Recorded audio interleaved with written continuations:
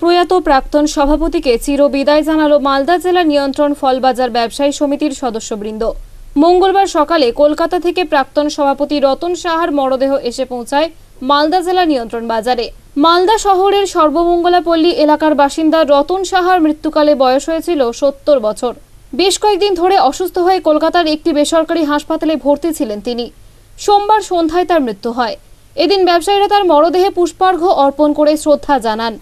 উপস্থিত ছিলেন ব্যবসায়ী সমিতির সভাপতি জীবন সরকার সহ সভাপতি গৌতম সাহা, সম্পাদক নব সাহা সহ ব্যবসায়ী ও পরিজনেরা।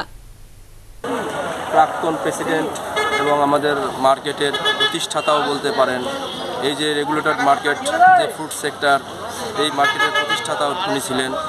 আজ উনি আমাদের ছেড়ে চলে গেলেন। আমাদের মায়া, সমস্ত মায়া ত্যাগ করে উনি চলে গেছেন। ওনার আত্মার আমরা সবসময় শান্তি কামনা করব।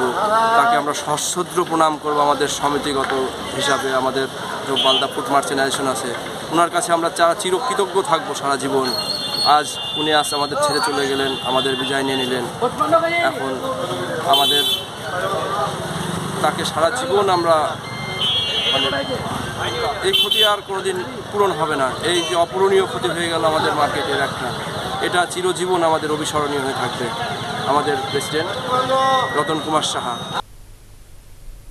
মালদা থেকে দেবু সিং এর রিপোর্ট, আনন্দ বার্তা।